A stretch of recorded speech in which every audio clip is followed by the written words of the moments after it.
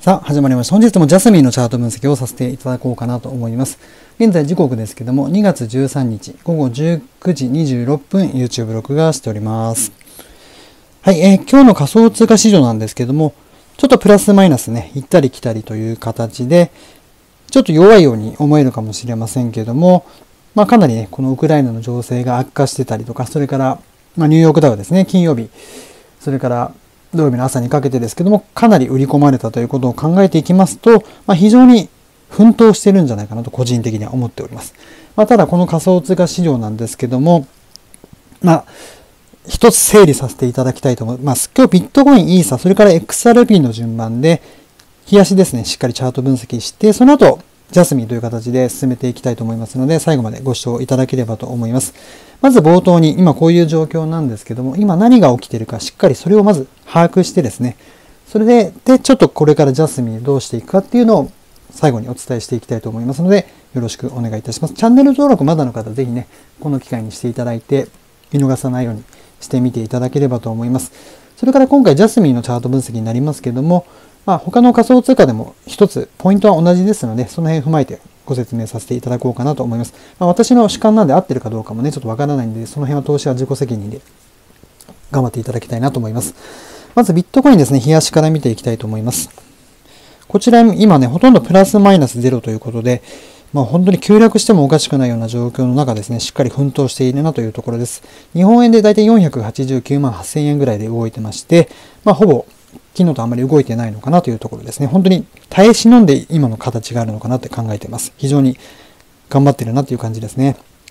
それからインスタですね。こちらの方もほぼ変わらずです。33万7000円ぐらいで今日本円で推移しております。こちらもちょっと冷やしですね。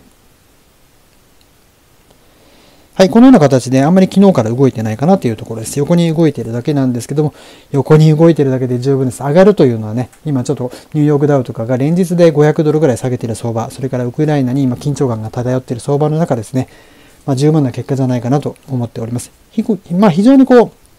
土日のね、仮想通貨の市場を想定したときに、まあ、これだけのね、いい形で明日につながるっていうのはちょっと考えていなかった方も多いと思いますので、これは非常にいい状況だったんじゃないかなと考えております。それからね、この仮想通貨があんまり下がらなかった一つの要因というところでちょっと考えているのが、リップルの急騰でしたね。昨日の夜中の1時ぐらいからですけども、まあ、今日の夜中の1時ぐらいですね。えー、こちらが日本円で今ですけども、95円ぐらいという素晴らしい形で今6.7%上がっております。まあ、リップルがね、上がるとこう急落のサインなんじゃないかなって言われたりすることもあるんですけども、まあ、そこはちょっとあんまりそういうふうには考えなくてもいいのかなと思ってます。まあ、寝頃感から買われたりとか、まあ、ちょっと思惑の回もあるかもしれませんけども、まあ、これはしっかり評価していいんじゃないかなと思います。リップルのおかげでビットコインイーサが耐えたんじゃないかなと個人的にはちょっと思ってます。これからの動きに期待かなというところですけども、ちょっとこれからご説明させていただく内容ですね。ちょっと見ていただければと思うんですけども、これ冷やしですね。こちらの1時ぐらいから上がった、このリップル、素晴らしかったですね。この左の方が1時ぐらいから上がった状況なんで、そこから今高値でもみ合いしているような状況で、非常によろしい状況かと思います。それでは、はい、え、こちらがジャスミンの価格になります。今日3.85円ということで、2.3%下落、ついに3円にね、3円台に入ってしまったという状況、それからランキングもどんどん落としてしまっていて、307位ということになりました。えー、非常にね、今、メタバース系とかにどんどん抜かれているような状況かと思いますし、まあ、ちょっと今後はね、しばらく苦戦が続きそうな感じのジャスミンなんですけども、まあ、これはジャスミンだけが悪いということでは決してなくて、今本来ですね、仮想通貨株式だったりが、まあ、どんどんどんどん値段がね、崩れていく形の確率が高いという状況を、ちょっと今回ね、また、しっかりお伝えしていきたいと思いますので、まあ、その中でどうなっていくかっていうのが今後の株式だったり、特に仮想通貨の方の動きに関わってくることだと思いますので、ちょっとしっかり整理していただきたいなと思います。まず今、アメリカの政権がですね、まあ、金利をこう、操作してですね、まあ、皆様のアメリカの国民の方の生活を守ろうという政策を今取っております。そのおかげというか、まあその形で、まあ国民の方にはちょっとね、いいことがあるかもしれません。まあスーパーに行くと物が安くなってたりするようなことが起きるかもしれないような政策を取ってるわけです。まあ、ですので、ちょっとこう低所得の方とかに、まあ、優遇したような措置を取るというかね、そんなような形のイメージなのかもしれませんけども、まあ、ただし逆に今株式とか仮想通貨、まあ、特に株式ですね、こちらにたくさんのお金をかけているお金持ちの方からからからからっていうか、からにとってみればですね、非常にこの政策っていうのは、まあ、もろ刃の剣で、まあ、一般的に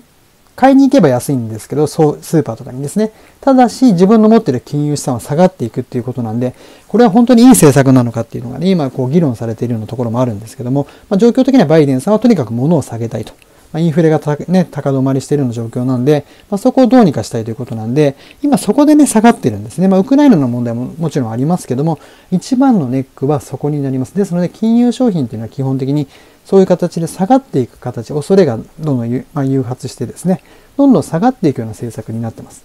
まですので、今後このバイデンさんの政策が続いていくんであれば、まあ、しばらくは下がる確率が高い。まあ、下がるか実際はわからないんですけども、急落してしまったりする確率が何かの発言で行われたりとかですね、するわけです。ということなんで、まあ、ジャスミンも下がってますし、他のものもね、下がってるので、そこはあんまりジャスミンだけが失敗したかなっていうふうには思わなくていいかな。とりあえず今は下がる確率がどれも高いということをまず認識していただきたいなと思います。で、今日も下がってしまったジャスミンなんですけども、まあ、1週間ですね、見ていきたいと思うんですが、まあ、1週間でどんどんどんどんこちらも下げていって、今この一番下の方でね、スライドしているような状況なんですまあ、しばらくはこういう状況と、さらにさっき言ったような状況がありますので、まあ、下目線でとりあえず考えていくしかないのかなって考えます。これ月足ですね。こちらで見ていきますと、また一段階段を下がってしまったということで、まあ、このまま行ってしまうと3.5円の方に向かってきてしまうのかなというところです。ですので今は3.5円から、まあ大体ざっくり言うとですね、4円半ばぐらいですかね。この辺でちょっと動くのかなというふうに考えます。あとは、まあ、ジャスミンらしい動きで、まあ、10%とかですね、上がるような日が来ればいいかなというふうに考えます。はい。ということで今日もですね、ちょっとジャスミンのチャート分析をしっかりさせていただいたんですけども、今はですからさっき言ったような金利の問題、それからバイデン政権のやり方でですね、価格は下がっていく可能性が非常に高いです。まあ、これは他の今上がっているような仮想通貨も実は同じですね。まあ、たまたま今は上がっているものも結構ありますけども、相対的に見ると下がる確率がどれも高いということをまずしっかり把握していきましょう。ですので、下がる方が利益取れ取れるものですね。これもしっかり自分の中で装備しておかないと、どんどん自分の持っているものが下がっていってしまうことになりやすい相場だっていうのを一つ覚えておいてください。はい、ということで今回もですね、こちらジャスミンのチャート分析をささっとしてみたんですけども、まずは3.5。ここから4.5ぐらいで動いている。まあ4.2ぐらいかもしれませんね。まあ、端的に言うとですけども。ですので今の中はこの動きを続けていきながら、どうにかこの嵐が過ぎ去る半年か1年かわからないですけど、そこをまあしのがなきゃいけないという相場なんで、しっかり皆さん負けずに、これからも諦めずに投資頑張っていきましょう。ということで今回ジャスミンのチャート分析ですね。また今日も下がっていて恐縮なんですけど、また明日もですね、ま、何か大きな動きありましたら、こちらで YouTube の方でまとめて皆様にお届けしていきますので、よかったらチャンネル登録まだの方ぜひこの機会にしていただいて、これからも一緒に頑張っていきましょう。諦めたら本当終わってしまうので、まだまだね、この戦っていうのは長く続いていくと思います。ぜひこの難局しっかり乗り越えていきましょう。ということで今回ジャスミンのチャート分析最後までご覧になっていただきましてありがとうございました。またこの次のね、動画をよろしくお願いいたします。今回は最後まで見ていただきまして、ありがとうございました。